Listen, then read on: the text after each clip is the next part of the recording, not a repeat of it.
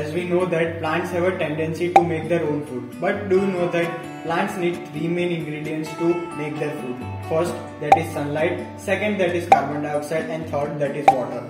Firstly, the water is collected from the soil through their roots. Secondly, the carbon dioxide, which is a gas found in air, plants can collect this from tiny holes present in the leaves. Once carbon dioxide and water are now collected, the plants need energy from sunlight. The leftover gas which is known as oxygen is now extracted and this is how we get oxygen from plants.